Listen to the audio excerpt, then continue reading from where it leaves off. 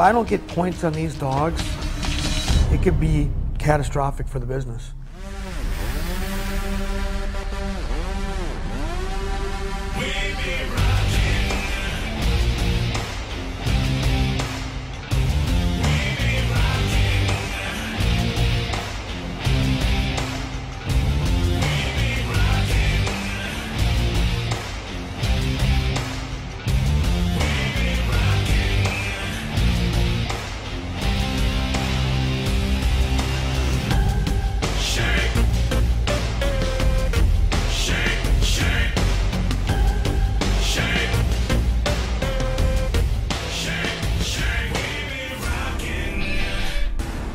Over $1 million is wagered each year across the United States in the bird dog circuit.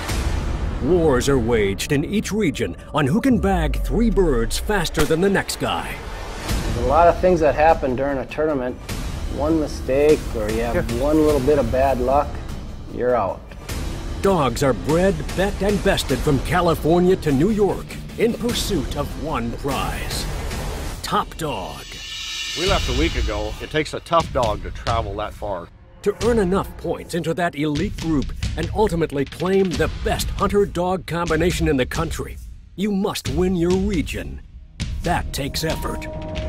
If I don't get those points, I'm out. And it's just going to be one more year of defeat. It takes blood, sweat, and tears, and a world of commitment. Point! Point! Point! Ah!